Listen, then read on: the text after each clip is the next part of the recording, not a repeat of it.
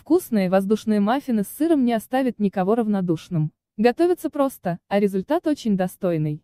Берите на заметку. Приготовить соленые маффины можно для любого праздничного меню, обычного семейного ужина или для перекуса в течение дня. Рецепт простой, а набор продуктов минимален. Выпечка получается нежная, воздушная, с характерным сырным вкусом и запахом. Всем любителям подобной сдобы очень рекомендую.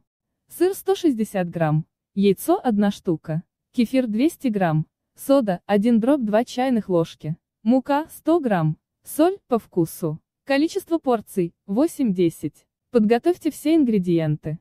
Сыр натрите на крупной терке. Добавьте к сыру яйцо. Налейте кефир, добавьте соль по вкусу, все перемешайте. Всыпьте муку и соду. Снова все перемешайте. Тесто готово. Переложите тесто в формочки для кексов, заполняя их примерно на 2 дробь 3. Запекайте при температуре 200 градусов около 20 минут до румяности. Соленые маффины готовы. Выпечку можно подавать как в теплом, так и в остывшем виде. Приятного аппетита!